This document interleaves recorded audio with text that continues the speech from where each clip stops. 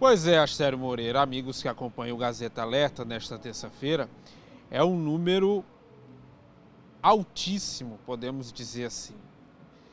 4 toneladas 422 quilos, ou 4.422 quilos de drogas, isso de todos os tipos, apreendidas no Acre de 2020 até maio de 2023, com destaque para o ano passado, 2022, quando a Polícia Rodoviária Federal e também as demais forças de segurança apreenderam aí 2.400 quilos, 2 toneladas e 400 quilos, somente em 2022.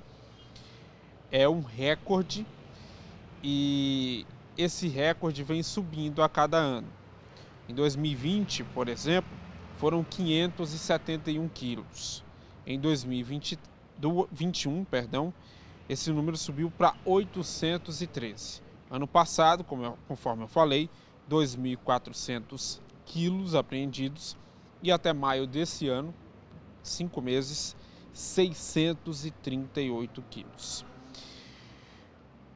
Os dados são de um levantamento da Polícia Rodoviária Federal e vamos saber então o que, que pode explicar essa quantidade tão grande de drogas apreendidas aqui no estado do Acre. É um conjunto de fatores. A Polícia Rodoviária Federal ela trabalha aí diuturnamente nas principais rodovias que cortam aqui o nosso estado e nós estamos aí atentos a todo tipo de ilícito que passa, inclusive o tráfico de drogas, que é um dos principais, se não o principal ilícito aqui na região de fronteira. E qual o principal desafio? Vocês têm aí 1.400 quilômetros né, para fazer a ronda.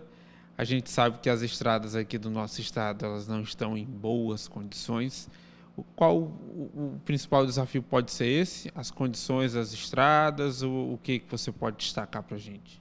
Os desafios são muitos. Mas aí também é um conjunto de fatores, né? Isso a polícia trabalha aí com empenho, dedicação, investimento em capacitação policial, tecnologia também. Então assim, é um conjunto de fatores que corroboram para todos esses números aí que na realidade são números infelizmente é, que negativos para a região, né, em relação a, ao crime, né, que é uma triste realidade, mas para a polícia é uma satisfação porque isso demonstra o trabalho efetivo, a contento aí todos os dias nas rodovias. Com imagens de Neuvan Negreiros, Márcio Souza para o Gazeta Alerta.